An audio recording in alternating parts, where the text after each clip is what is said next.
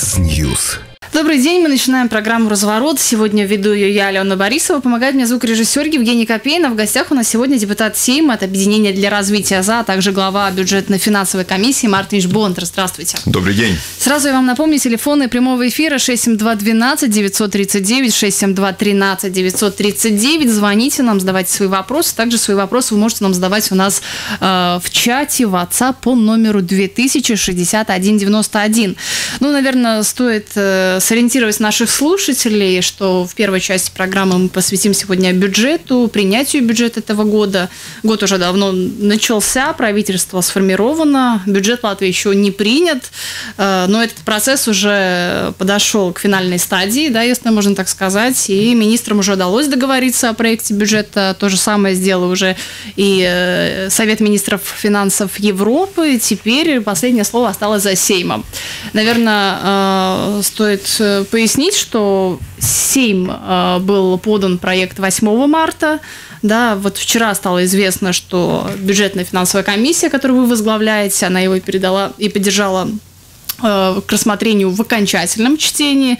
И значит ли это, что 3 апреля бюджет на этот год будет принят? Что вы можете сказать? Я очень надеюсь, что 3 апреля государство будет, э, скажем, э, в руках держать свой бюджет 2019 года, потому что бюджет – это ничего больше, как финансовый план правительства, и это означает, что очень много людей поймут, как же государство в течение следующих 9 месяцев будет жить.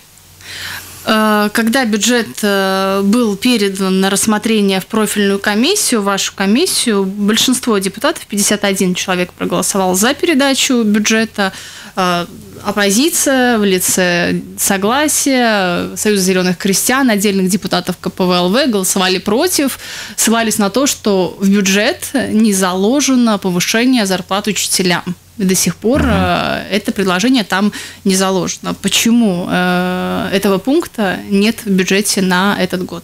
Бюджет 2019 года заложено, что на повышении учителям 11 миллионов свыше 11 миллионов уже там было заложено, когда сдали бюджет на, скажем, на рассмотрение в комиссии.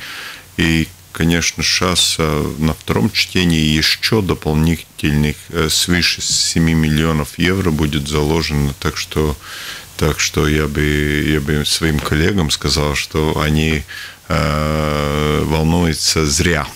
Но вы сейчас говорите о 7 миллионах э, в пять с половиной из них. Да, только вчера прозвучала такая сумма. Наверное, стоит пояснить, что учителя и педагоги требуют э, дополнительно 9 миллионов евро. После э, забаст пикета 20 марта нашлись почти 2 миллиона евро. Вчера вами или, э, полтора, нашлись полтора, и полтора. сейчас еще пять с половиной миллиона не нашлись, а фактически, ну, была но те деньги, которые распределяются в бюджете, была найдена возможность всех денег отдать учителям.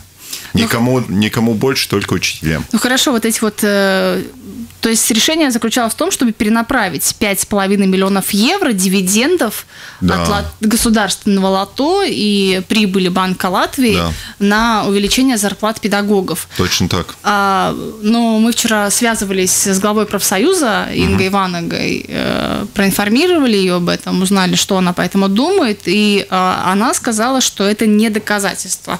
Эти деньги еще могут быть распределены между другими министерствами, э, конкретно учителям нужны изменения изменения в правилах Кабинета министров. Это еще ни о чем не говорит. И к тому же это не вся сумма, те 9 миллионов, на которые они планируют и рассчитывают. Насчет Кабинета министров, там нужно госпоже Ивановой говорить э, с кабинетом, да, потому что правительство это, это немножко иначе, чем, э, чем парламент. Угу. Но я надеюсь, что если там нужно, нужны будут изменения в, в, в правилах, и я там не вижу больших препятствий в правительстве, и, конечно, э, правительство хочет, чтобы э, реальные реформы были э, в сфере, сфере образования, чтобы все наши дети получили хорошее образование. Ну, разве эти реформы не проводятся, на ваш взгляд? Вы ну, сами неоднократно посещаете школы, о чем рассказываете да, на своем да, профиле на Фейсбуке, да. да, и видите эти оптимизации, возможно, посещаете региональные маленькие школы. Разве там не проходит реформ? Но это проходит ли реформа, не проходит реформа, это не можно увидеть э, микро, на микроуровне, потому что это, Ну, можно, это, это можно увидеть, э, конечно, со стороны Министерства образования. Что было, какие цели, что, какие, какие идеи. И там, я думаю, что ими нужно спрашивать. И, и ну, пока мы доверяем тем людям, которые приходят и ну, докладывают, ну, нету, нету повода э, не верить э, им, что ну, э, нужно сделать как сокращение школ, где нету э, учеников и так далее, и так далее. Но, тем не менее, если говорить, продолжая тему зарплат учителей, те полтора миллиона нашлись только после протеста. Да? Вчера учителя объявили о новой забастовке, намечающейся на сентябрь этого года, и на одном из последних, возможно, заседаний, посвященных перенятию бюджета, были найдены еще 5,5 миллионов евро. То есть все как будто из-под палки. То есть эти деньги изначально не закладываются в бюджет и не вносятся на вот первых предложениях, а все только после. Я как-то всегда очень осторожен говорить насчет, э, насчет денег, что на- деньги находятся. Деньги не находятся. У нас не страна чудес, где, где можно найти каких-то денег. Но то, что э, э, происходит, происходит переделение денег из других программ э, на, на, учи, на, на, на нужды учителей. Ну хорошо, вот можете пояснить конкретно э, эту сумму? То есть как получилось так, что отыскали эту прибыль в размере 5 миллионов евро в государственном лото, эти деньги еще не были ни на что запланированы или на что они изначально? Это фактически вчера только мы получили информацию, что Латвия Слото и Государственный банк ну, будет выплачивать больше дивидендов и больше будут выплачивать э, за исполнение, за использование капитала. И, и там и получилось 5,5 миллионов, и тех 5,5 миллионов э, депутаты направили на, на учительские нужды. Можно еще будет где-нибудь э, найти или перенаправить, э, если э, так выражаться, дополнительно 2 миллиона евро, которых не хватает до 9, чтобы требования учителей э, были исполнены. Это всегда вопрос, как, как, как, э, п- как будет у нашей, нашей экономики. Будет ли наша экономика расти? Будет ли все в порядке Но Ну, вы сейчас сказали о том, что всегда можно деньги перенаправить. Перенаправить, да? конечно. Ну, это, это вопрос, от кого перенаправить э, на, на учительские нужды. Но это, вопрос приоритетов. это вопрос приоритетов, Учителя у нас в конечно. приоритетах? И тоже, и тоже здравоохранение в приоритетах. И еще много приоритетов. Э, Так что здравоохранение, например, в этом бюджете полу- получило свыше 80 миллионов, да, и это ну, большие деньги, да, и это ясно, что для здравоохранения не хватает денег. Даже если мы дали эти 80 свыше миллионов на здравоохранение, это все равно слишком мало. Конечно, это, это всегда вопрос, это всегда вопрос денег, всегда не, не- скажем так, э, при рассмотрении бюджета никто не пришел и не сказал, у нас слишком много денег. Не Мне так- кажется, ни в одной стране никто не пришел и не так- так сказал, что у нас много да, денег. Так что, так что все говорят, нам нужно больше. Нам нужно больше. Так полностью все министерства, все инстанции говорят, что нужно больше. Конечно, понятно, что нужно больше. И, и вопрос, какие цели мы, мы хотим достичь с этими деньгами. Но да, но почему мы, допустим, выполняем требования по увеличению финансирования обороны 2% от ВВП, и мы охотно э, идем на эти требования и всегда повышаем эту сумму. В этом году э, издержки на оборону увеличатся на 60 миллионов евро. Но мы никогда не выполняем свои внутренние требования перед э, теми же чиновниками, не знаю, служащими, э, педагогами, медиками, социальными работниками, да, то есть мы можем довести до крайней точки, пока те не выйдут на улицы, и только, возможно, тогда мы выполним их требования. Это вопрос распределения приоритетов. Это То не совсем, согла- это Ну, а не как? совсем Как так, потому видите? что, потому что если насчет обороны говорить, то ясно то, что за безопасность нужно, нужно платить. И когда, когда нет А- безопасности, тогда мы понимаем, что ее, э, ее нет. Но, но, если мы говорим насчет э, образования, Латвия одна из тех стран в Европе, которые уделяет э, большинство, ну, скажем, очень большие деньги от ВВП образованию. 9%. Это большие деньги. Это на четвертом месте в Европе. Это не, не шутки. То, так, что, так что вопрос, как мы Да, но у нас также денег... нет, знаете, высшего бесплатного образования, которое есть в Германии, например. У нас также учителя недовольны своими зарплатами, поэтому да. общее выделение на эту сферу еще не значит, что она э, проводится достойно, продуктивно, и люди получают э, необходимое образование, и, и педагоги получают необходимую зарплату. Я очень надеюсь, я очень надеюсь, что новый министр образования сможет, э, скажем, можем а, взглянуть на эту систему и что же не в порядке в этой системе. Давайте это мы, очень ясно. Мы, может быть, примем звонок, да, Хорошо. называйте, пожалуйста, наушники. Да, здравствуйте, мы вас слушаем. Добрый, Константин. Хочу э, дополнить и поддержать вас, ведущую, по поводу Минобороны. Э, мы тратим им на 60 миллионов в этом году еще больше и закупаем вертолеты и всю эту лабуду списанную при том, при всем, что в Латвии нет ни инфраструктуры для ее размещения. А, вспомним, да, историю про радары, вот только что, которая случилась. Радары куплены уже год назад, их до сих пор не знают, куда приткнуть. Ни специалистов, которые могут работать и обслуживать, то есть их обслуживают специалисты НАТО, приезжие, командировочные, которые полученные деньги вывозят из страны. То есть нет ничего полезного в Минобороны. По поводу безопасности, я вам как кадровый офицер, потомственный, вашему гостю могу сказать, что ваши 13 тысяч замыцаргов и полторы тысячи натовских бойцов – это капля в моле даже против одной Псковской дивизии, не говоря уже о всей остальной структуре военной э, машины России, против которой вы собираетесь воевать. Это слезы. А решение очень простое. Как было до, по-моему, 2005 года, в структуру Минобороны был включен Олимпийский комитет Латвии и купался в деньгах. Так вот, я вам предлагаю подумать над вопросом, если уж Трамп вас так взял за горло. Включите просто Минобразование в структуру Минобороны. И Минздрав включите в структуру Минобороны. И тратьте свои 20%, 2,5% ВВП на натовские расходы, куда войдет и структура образования, и структура здравоохранения. И овцы целые, и волки сыты. Вся проблема решена. Да, спасибо большое за ваше мнение. Есть вам что добавить?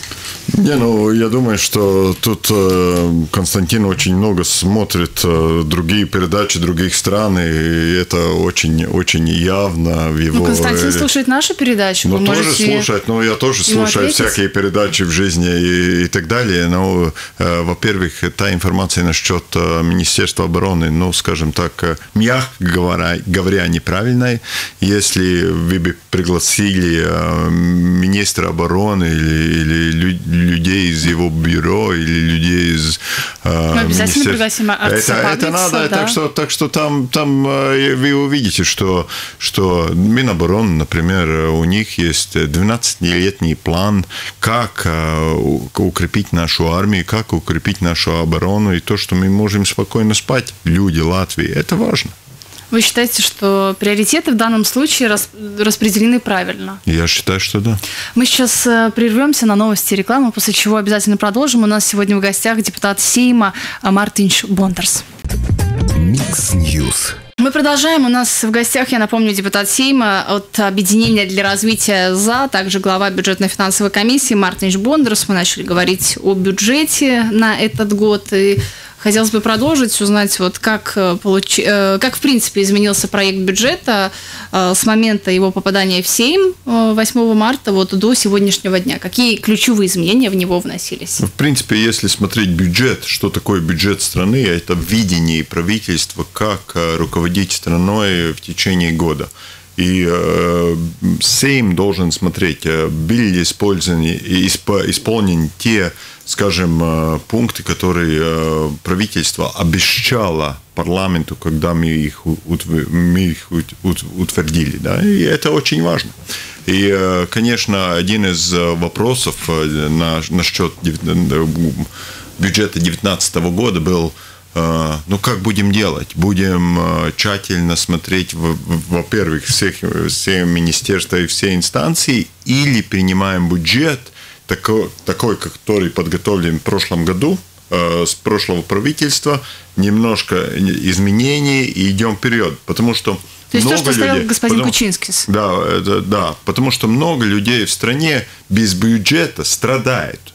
Им просто, просто или программы закрываются, или, или э, нету финансирования и так далее. И это очень, это очень серьезно, и потому было принято решение, что э, фактически идем э, с бюджетом, который подготовлен предыдущим правительством, и принимаем маленькие изменения, там, как я уже говорил, здравоохранению, дополнительные деньги – дополнительные деньги э, людям э, внутренних дел, дополнительные деньги судьям, дополнительные деньги еще э, программам, которые важны для Латвии, например, насчет отмывания, против отмывания денег и так далее, и так далее.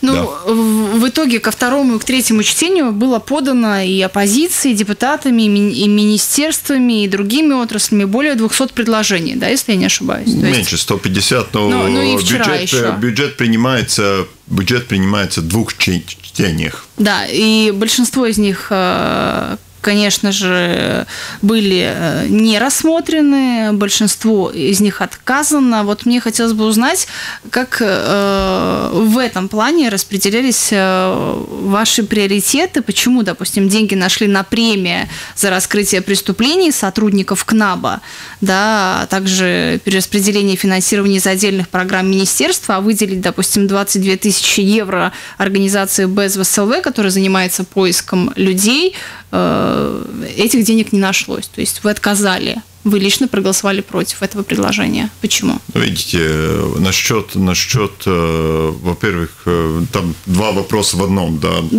Почему нашли по, деньги по, для... Да. Это, главное, не, не повышение зарплат, это же премии сотрудников КНАБа. На премии деньги нашли, а, допустим, 22 тысячи евро на Безвест нет. Если, если мы смотрим сейчас э, информационное пространство Латвии, да, да. то мы понимаем, что коррупция – это большой вопрос. И, конечно, мы в Латвии все хотим, чтобы тут была э, зона, бескоррупционная зона. И, и важно, чтобы те люди, которые работают и исследуют коррупционные сделки, чтобы их как-то наградить. Это на награды тех людей, которые Э, достают хорошие результаты. Но они разве не делают свою естественную работу? Их работа заключается в том, чтобы находить действительно э, сделки, заниматься процессами поиска по отмыванию денег. Это их работа. Конечно. А, а выделяя деньги на премии, вы подразумеваете то, что они изначально их получат. Хотя премия в конце года – это вопрос сомнительный. Если человек сделал хорошую работу, тогда он может ее получить. А вы уже сейчас как бы обещаете им эту премию. Это резерва... это Нет, деньги. это резервация денег денег, и это немножко по-другому. Это, это не означает, что, конечно, если, если люди не делают свою работу, конечно, какие премии? Ну, Никаких премий не, никто не получает за, за красивые глаза. Э, там, там же не отношения мужа и жены.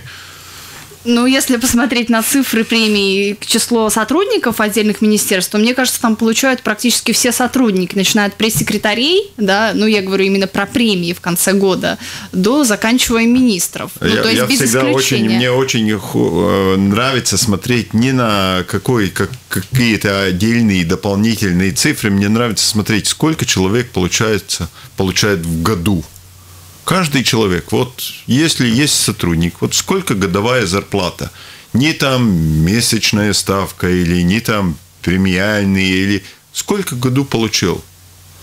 И мне бы очень хотелось, чтобы кто-то показал те инстанций, которые получают, или госинституции, которые получают больше денег, чем э, в частных индустриях и так далее. Я сомневаюсь, что, сомневаюсь, что есть много таких э, институций в Латвии.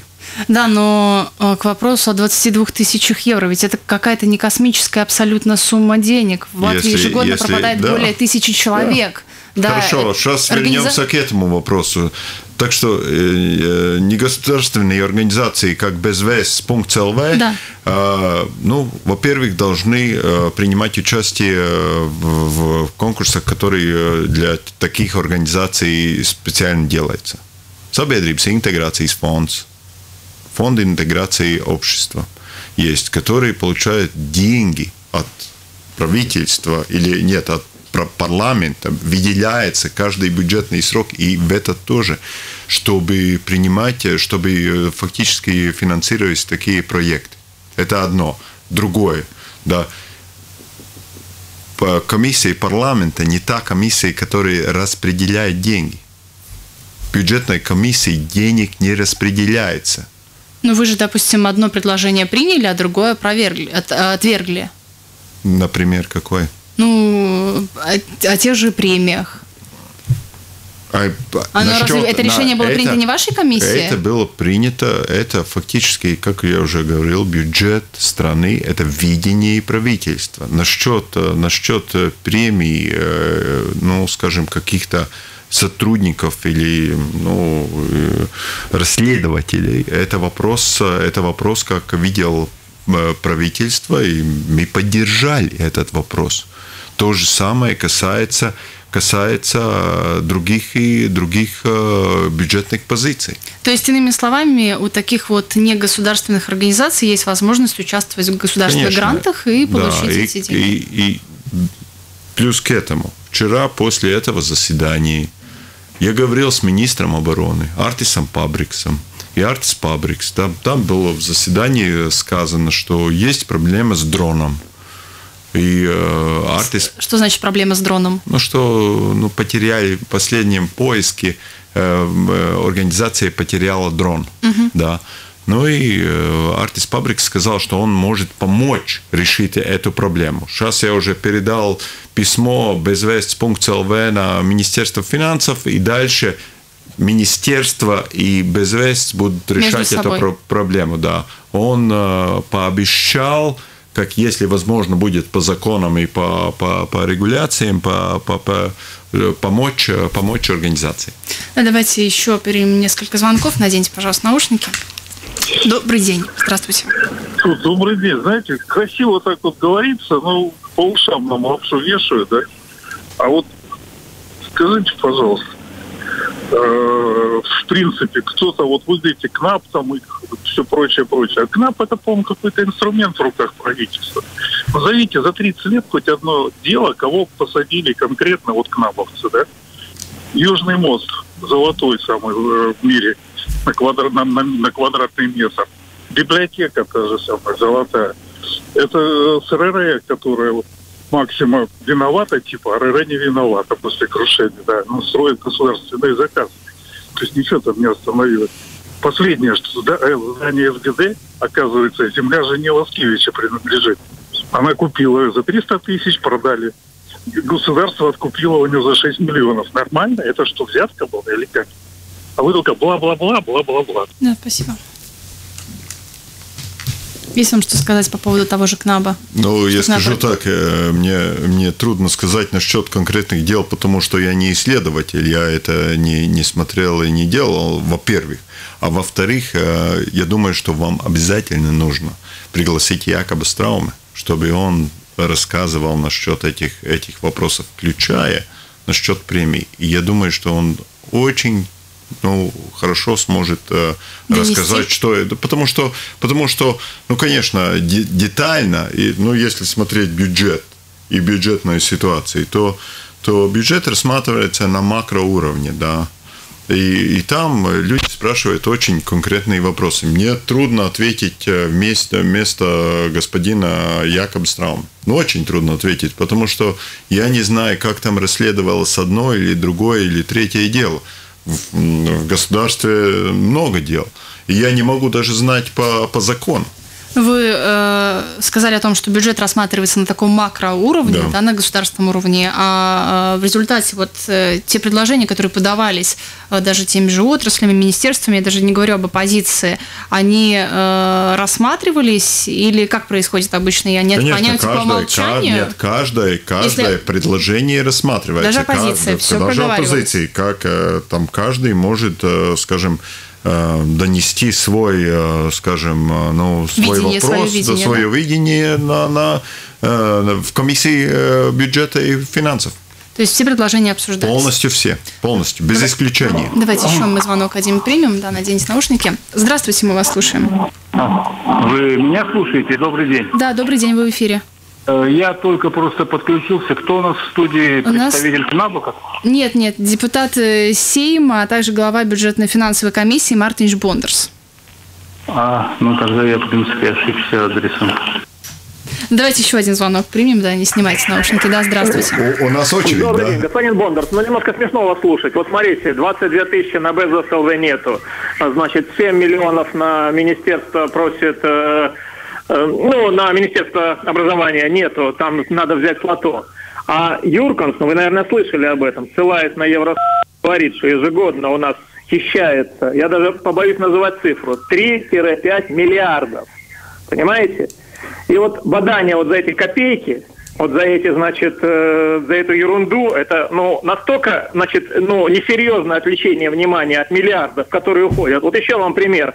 Значит, был м, Кревинч, Значит, э, пред- ну, глава госканцелярии, который сказал, надо сокращать за, за оклады и количество чиновников. Кревинча испарился моментально. Пришел Сюсковский, который сказал, мне с 2200 там, или сколько у него было, хотя бы до 5500 увеличить. Вот больше всего умиляет даже не 5500, а хотя бы. То есть сколько у него сейчас, я думаю, 3-4 он уже сейчас имеет. Со всей вашей вот этой, ну не побоюсь сказать слово, брашкой. Понимаете, поэтому здесь 22 тысячи 7 миллионов, и вот стоит, стоит значит, Шуплинская против э, э, ну, Инги Ванаги, а миллиарды, значит, по-любому миллиарды, тут уже можно, значит, 3 или 5 можно взять по минимуму, но это миллиарды. Это, значит, как бы на Цисковскиса с компанией, ну и вы там в том числе, и все эти, значит, ваши премии, 94% просило своим сотрудникам резницы отзывы по позапрошлому году. 94% сотрудников. Там только, наверное, уборщицы не получили. И каждые премии, это премии только, больше миллиона. Да, я прошу Каждое прощения, можно капельку, да, покороче, может быть, к вопросу Да, ну перейдем? так вот все-таки, понимаете, ну не- не- вам самому не, не, не кажется, что вот таким смешным быть вот с вашими этими доводами, такими беспомощными и бесполезными, но это просто детский сад. Спасибо. Не, ну, вы видите, что у, у людей накопилось очень много, вам звонят, и, и конечно... Нет, звонят все- как раз сейчас вам. Да, да, того, чтобы- на- мне звонят, на- накопилось очень много, и, конечно, всех тех комплим- комплиментов, которые мы наслушали сейчас, ну, я думаю, что комментировать э, бесполезно. Но здесь идет речь, слушающий хотел сказать, о соразмерности средств, да, вот на название сумм миллиарды, о которых известно, допустим, против миллионов и нескольких тысяч, да, там, Ну, на прямые нужды человек говорил насчет миллиардов, которые вроде бы э, ну, ук- украдены. Да. Мне такой информации нет. Хорошо. У ва- э, вопрос у вас. И, и тогда предыдущий зво- зв- зв- звонитель говорит, что говорит, что не надо, не надо премии э, тем людям, которые занимаются коррупцией. Или, а, ну, э, скажем, исследует ко- коррупционные сделки.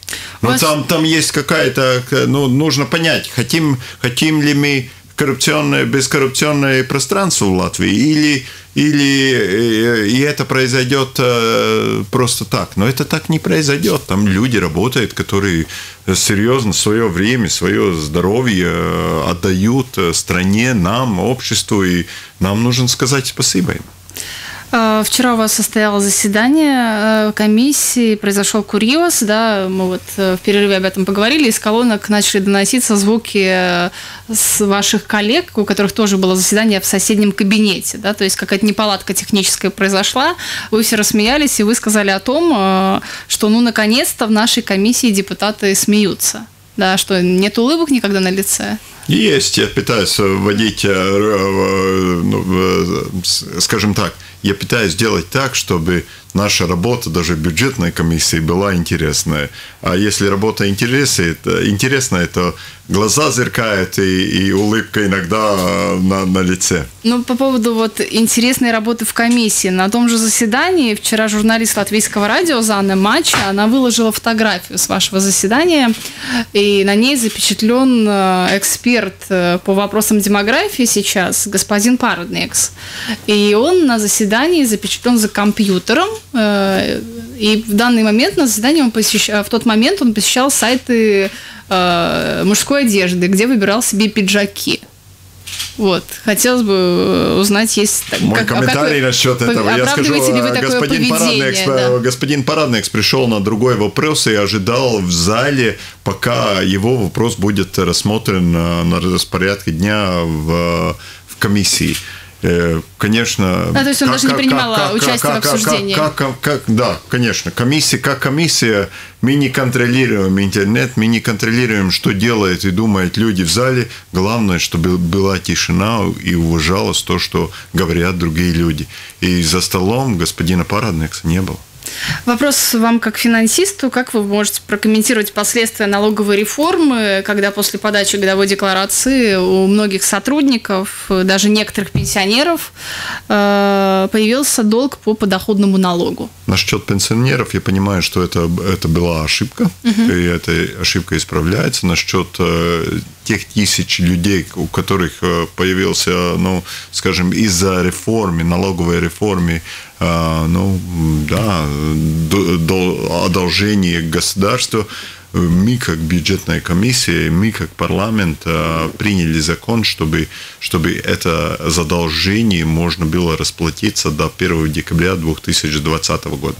Это да, но вот э, саму реакцию общества, последствия налоговой реформы, вы считаете, что это необходимая была мера? И тем более вы сейчас работаете в одной комиссии с бывшим министром финансов Даной Разницы Озулой.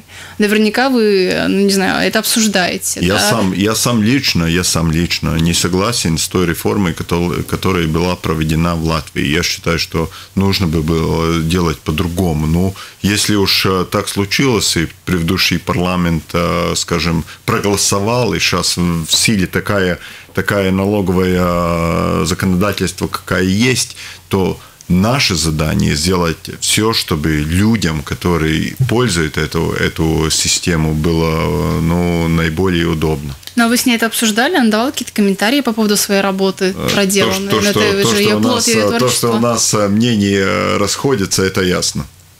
Давайте мы еще звонок примем. Наденьте, пожалуйста, наушники. Здравствуйте. Добрый день. А Добрый. А кто вам не дает дело изменять эту реформу налоговую? И, и второй вопрос. Вы зачем пришли на радио? Что вы нам хотите сказать? Вот своим присутствием. Вот вы пришли там сейчас целый час. Что вы нам хотите сказать? Первый вопрос по поводу изменения налоговой реформы. Если вы с ней не согласны, почему бы ее не изменить? И вот сделать это, это, это то, что очень трудно всегда объяснять людям, то, что, ну, объяснить, это то, что если принимаются большие вопросы, ну, налоговая реформа – это большой вопрос, то не надо дергать каждую минуту налоговые, налоговое законодательство. Приняли закон, идем по той пути. Какое-то время идем, и тогда, ну, скажем, Э, смотрим, когда это, эту налоговую систему будем опять менять. Потому что мир меняется. Все время мир меняется, и нам нужно быть конкурентоспособными в этом мире. Да, так, что, так что это вопрос, э, когда большое решение принимается, принимается всем, э, всем сейми тогда или парламентом, тогда очень трудно так на следующий день сказать, знаете, сегодня а передумали, будем делать по- по-иному. Ну, так не бывает. Ну и второй вопрос был, с чем вы к нам пришли на радио, чтобы вы хотели донести до слушателей? Вот вы нас, вы нас пригласили, э, Мы вы меня пригласили, пригласили да. я пришел говорить насчет бюджета 2019 года или э, как э, принимается бюджет 2019 года, и, ну, фактически, да, ну, есть какие-то аспекты у у радиослушателей, где они что-то новое узнают, где есть какие-то аспекты, где они узнают мое мнение, мое личное отношение, например, к реформе, налоговой реформе, которая была проведена э, в прошлом году. Так что, да, но это вопрос, это вопрос, кто, э, то, что люди хотят услышать не могу не затронуть тему. Вот ваше имя сейчас э, упоминается в связи с, э, со скандалом компании Barons Quartals, да, которые были предоставлены налоговые льготы на 80 тысяч евро благодаря Латвийскому баскетбольному союзу, где вы являетесь э, главой совета союза. Э, вы же Мое знаете? имя никак не связано с этим вопросом. Этот вопрос между Баронс Кварталс и налоговой службой. Я не являюсь ни сотрудником Баронс Кварталс, ни сотрудником... Но вы являетесь главой налоговой... Совета Латвийского баскетбольного да, союза, да, конечно. который и... получал деньги за то, что э, который перераспределял получал, средства. Да, который э, цели собра, цели, целенаправленно получал денег, денег из, от компании, которая хотела направить, э, скажем, свои ziedojumi, mm, пожертвования, для баскетбола. Ну, он, и, но он получал, есть, Союз есть, получал есть, деньги есть. В, этой, в этой сделке как посредник, который мог получить деньги и на и как ну как для для баскетбола например деньги ну даются или не даются или как пожертвования и даются через баскетбольные федерации, иначе не бывает. И Латвии, и других странах. Так что, если кто-то но можно указать конкретную сделку в пожертвовании и внести даже сумму перечислений. Конкретный договор составить, если вы являетесь жертвователем. Это уже известная сделка Знаете, даже через налоговую службу. Со, вы, вы, вы сейчас хотите нет, нет, говорить тому, насчет, э, хотите, хотите говорить насчет конкретной сделки. Эдгар Шнепс, Валдис Войнс, они бы с удовольствием бы рассказали вам насчет этой конкретной вопроса. Вы... Я, я говорил с Эдгарсом Шнепом, он мне говорил очень ясно. Вопрос решен. Вопрос решен. Если вопрос решен, то вопрос решен. А, ну, конечно, можно этот вопрос держать а, в пространстве медиа и говорить, знаете, вот там что-то в 2016 году было. Там что-то в 2016 году было, да там были какие-то криминальные действия? Нет. Там были какие-то действия, где, где одна компания, скажем, э, судилась на цивил процессе с налоговой службой? Да, было. Ну, очень нормальная ситуация в правовом государстве. Продолжая э, вопросы Э, вам как финансисту, у нас в Латвии э, сокращается ежегодное число предприятий, и э, даже в этом году или в прошлом году был побит рекорд по прекращению зарегистрированной коммерческой деятельности, то есть в последние два года закрывается предприятие в два раза больше, чем открывается. Да? И даже нынешний министр финансов сказал о том, что молодежь сейчас очень боится открывать свой бизнес да, и предпринимательская жилка, она сейчас, ну, не активна да? Как, как с этим быть? Что с этим делать? Если могу, могу в одном слове сказать, это плохо. Это плохо. И, конечно, ну, у нас много что плохо. Это, не, ну, знаете, Мало с этим мы, соглашаться и мы признать. говорим, мы, мы живем в хорошее время. Если по, по, по сравнению э, с теми временами, которые были на территории Латвии, Латвии или государства Латвии, мы, мы живем в хорошее время, да то, что мы хотим какие-то вопросы изменить, ясно. То, что мы хотим, чтобы больше людей занимались предпринимательством, тоже ясно. Что мы будем делать, это хороший вопрос. Можно, почему, почему не возникают темы о налоговых каникулах? Да, хотя бы. Я ни разу не слышала и не читала, чтобы хотя бы у нас э, в информационном поле звучали такие предложения вопрос, или дискуссии вопрос, были. Вопрос из-за налогов э, нет этой деятельности экономической или из-за других вопросов? Но это тоже, конечно. Это, это большие вопросы. Это, ну, если налог потому, съедает что, если, твой бизнес, допустим, съедает твой бизнес, когда ты еще не успел э, достичь определенного оборота и раскрутиться, но чтобы ты мог быть финансово обеспечиваемым и выплачивать те же налоги, почему не освободить юных предпринимателей, молодых, э, устроить им такие каникулы? Ну, есть, э, скажем, было, было время, когда был микро uzņēmumu nodoklis, да. Но он до сих пор есть. Он до сих, Почему? Да, конечно, до сих пор да, есть. Он только да. вырос ну, до 15%. Да, он вырос, да, но это, это небольшой налог по сути. Это, ну, по сути, очень-очень, э, скажем, маленький налог по, по общему размеру, если смотреть, э, какие налоги платит любой работодатель или, или так далее. Так что там э, жаловаться на счет, на счет, на счет микроналога или нехватки инструментов, я думаю, что сегодня грех бы был. Нам поэтому, э, на этом пора заканчивать. У нас сегодня в гостях был депутат Сейма от Объединения для развития ЗА, глава финансовой комиссии Мартинч Бондерс. Провела передачу Алена Борисова. Помогал мне звукорежиссер Евгений Копейн. Спасибо вам большое. Спасибо.